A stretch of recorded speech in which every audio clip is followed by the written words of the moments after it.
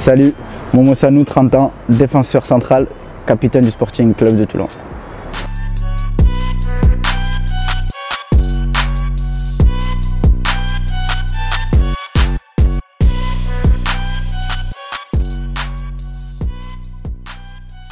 Je me suis fait euh, cette blessure-là, euh, ligament croisé euh, genou gauche, euh, mois de juillet dernier, en 2020, euh, lors d'un match amical contre Rousset, sur leur synthétique à eux, sur une action corner ou, franc offensif pour nous.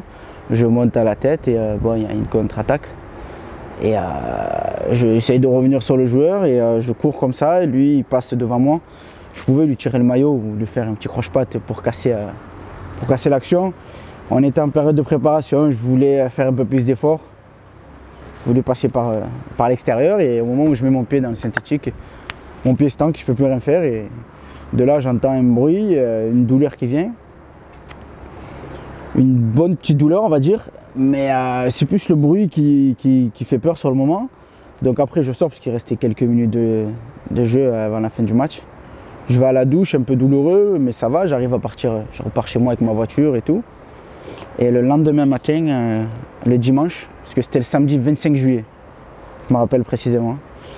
Euh, le dimanche matin, j'essaie d'aller aux toilettes. euh, et en fait, je me lève, douleur de malade et le genou qui avait gonflé. Je me suis jamais réellement blessé de grosses blessures. Quoi. Donc je fais les RM et tout. Et le gars sort pour me faire le compte rendu. Et, euh, et je me rappelle, il dit à mon ami, vous pouvez partir? Je dis non, mais il peut rester, c'est rien, c'est quoi C'est un compte rendu de genou. Et du coup, il me dit rupture ligament. euh. À partir de ce moment-là, j'ai le ciel qui m'est tombé sur, euh, sur la tête, honnêtement. hein. Et après, je me rappelle ce jour-là, ma fille était chez ma soeur parce que ma femme travaillait et moi je n'étais pas en capacité de la garder. Donc mon ami me ramène chez ma soeur et euh, j'avais la, la- la- tête euh, baissée, euh, dégoûtée. Entre temps, sur la route, il y a tout le monde qui m'a appelé euh, coach, président, plein de joueurs, des amis à moi qui essayaient de me remonter le moral. hein. C'est tout à fait normal, c'est gentil de leur part. Ça m'a fait du bien sur le moment, même si euh, sur le moment j'étais, euh, on va dire, pas au fond du trou, mais ça met un coup au moral. Quoi. Et après, au bout d'une heure, j'étais chez ma soeur, ma fille qui vient, qui me fait le petit gâté. Quoi. Elle me fait le bisou, elle sentait que j'étais pas bien. Et euh, je la regarde et je me dis, bon, c'est simple. hein. C'est soit tu, tu as le moral au fond des chaussettes et ta rééducation se passe mal. Soit ben, tu fais comme tu as toujours fait, et avoir un caractère de battant et aller de l'avant.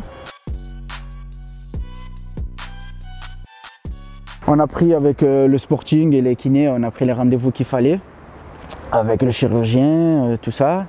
Du coup, je me suis fait opérer dans la foulée le 8 septembre. Donc hier, ça a fait 7 mois d'opération. Et euh, du coup, je me suis fait opérer. Et ensuite, euh, j'ai enchaîné euh, rééducation. Je me suis fait opérer le 8 septembre. Je suis rentré en centre de rééducation à Saint-Martin Sport à Marseille le 14 septembre. Honnêtement, c'était dur. Parce que on a le genou, il est gonflé. À la maison, on ne peut rien faire. On ne peut pas bouger. Les douleurs, ça va. Parce que j'avais quelques douleurs les 2-3 premiers jours. Mais ça va, les douleurs au genou, franchement, c'était supportable. C'était que les 2-3 premiers jours. Mais c'est surtout le fait d'être euh, dépendant des gens. quoi. J'ai toujours été indépendant. euh, bouger là, là-bas. Et là, d'être dépendant, c'est dur. Depuis mars, avec euh, Nico, le kiné du club, on travaille une fois par semaine, en fin de semaine, euh, une, une séance euh, électrostimulation avec le gilet.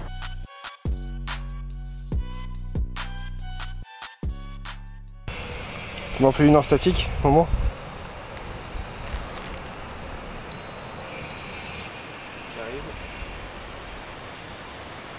Trop-stimulation, moi j'utilise beaucoup avec Momo sur euh, l'effet renforcement musculaire, l'augmentation de l'endurance euh, et aussi un travail sur l'agilité. Vraiment, c'est l'objectif c'est de renforcer les muscles en profondeur. Bosu, tête, gainage. Et pour terminer, soit on fait passe, courte, moyenne, longue, Soit on fait euh, tennis-ballon, on prendra euh, deux bancs, et on fait tennis-ballon, et celui qui perd ses pompes à la fin.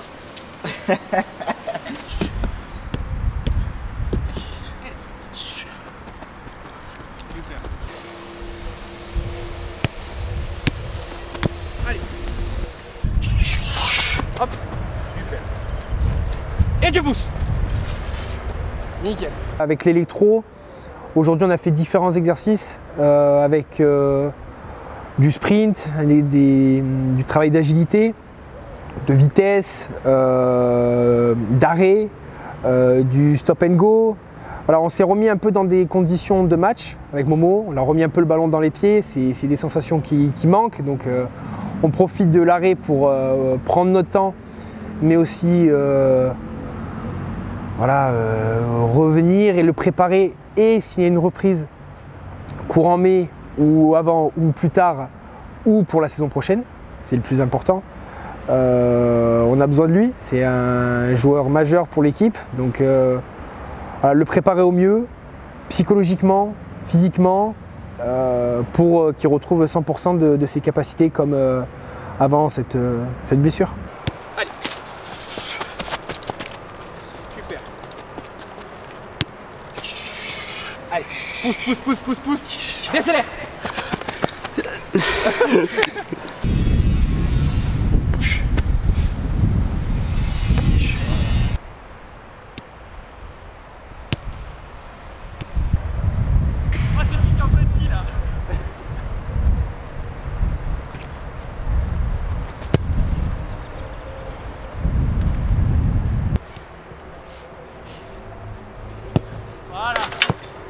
Nico, euh, parce que moi, il m'a quand même suivi, euh, il m'a quand même suivi depuis le début. hein.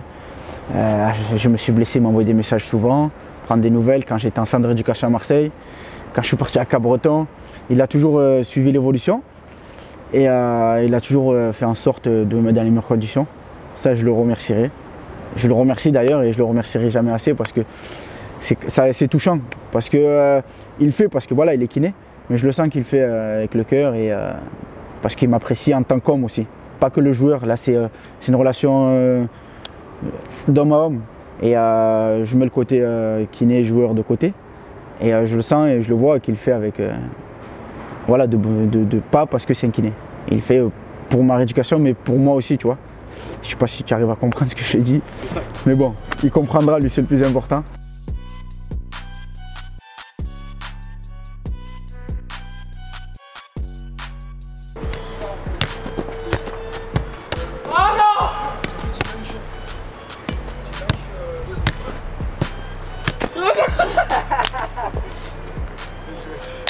Du coup, on a terminé la séance par euh, des étirements avec élastique.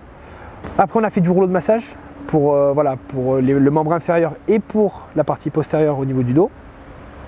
Euh, ensuite, il y a eu un étirement au sol selon Mézières, donc avec un vrai but d'étirer toute la chaîne postérieure en partant du talon pour aller jusqu'au niveau de l'occiput. Donc vraiment un étirement global de la chaîne poste qui est vraiment majeur pour la posture du joueur, les bonnes sensations et une plus-value sur le terrain ou dans la vie de tous les jours. Et après, on est passé sur des soins. Au niveau des soins, euh, on a commencé par un massage décontracturant, euh, plus spécifique sur la, jambe gauche, la jambe lésée, euh, tout autour de la rotule, parce qu'on a fait de la caméra thermique. On a vu qu'il y avait, euh, à la fin de l'entraînement, une inflammation plus importante sur la jambe gauche, due à un travail sans doute plus important et tant mieux, parce qu'on a vu qu'il n'y avait pas forcément une compensation sur l'autre jambe. Donc ça prouve que la jambe gauche se renforce de manière euh, noble et efficace. Ensuite, il y a, du froid compressif pendant euh, une vingtaine de minutes, voilà, à 0 degré, parce que euh, voilà, on rentre vraiment, le froid va vraiment rentrer dans la fibre musculaire, donc il y a vraiment un objectif de, stopper une, possible inflammation après une grosse séance sur terrain. Euh, et après, voilà, les bottes de froid.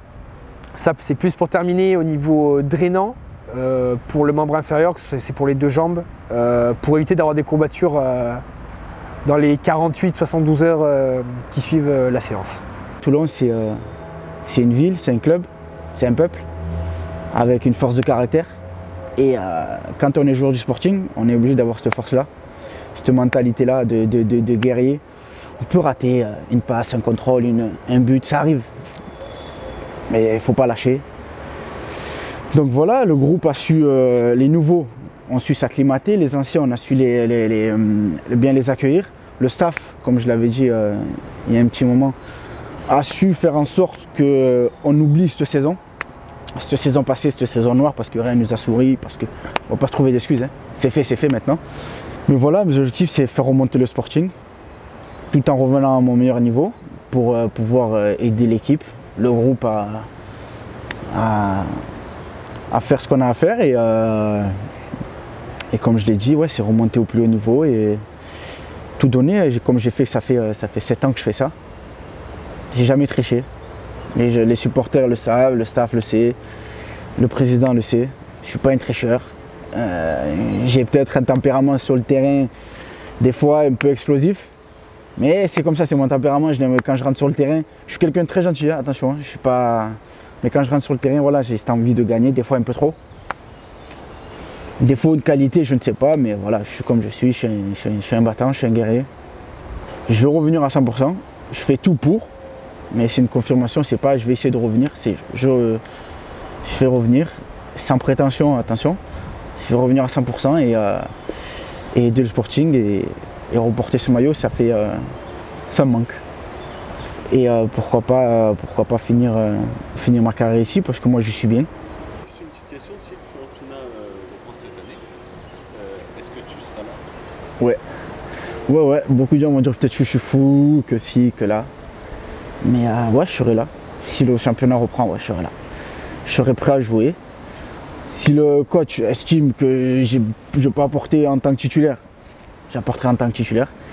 Si le coach estime que je dois être sur le banc et apporter un quart d'heure, dix minutes, trois minutes, si demain on gagne à zéro et je dois rentrer une demi-heure pour, pour fermer la baraque, je le ferai. J'ai rarement connu des supporters comme ça. Euh, malgré, euh, on va dire, la saison passée, l'année dernière, ils étaient présents dès le début de saison.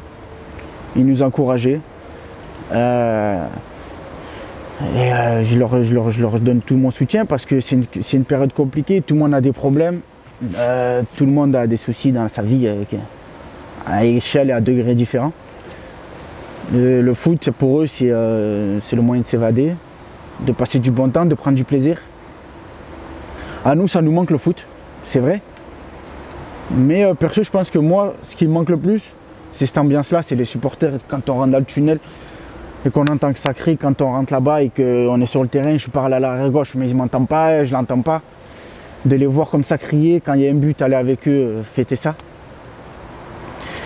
Chose que j'ai à dire, que j'ai à leur dire, pardon, c'est qu'il euh, faut prendre seulement la patience et en espérant se retrouver pour pour des bonnes joies comme la saison euh, de la montée, euh, en fêtant euh, à chaque match des victoires une remontée. Et comme j'ai dit, je leur donne ma parole de, tout, donner et de, motiver le groupe pour,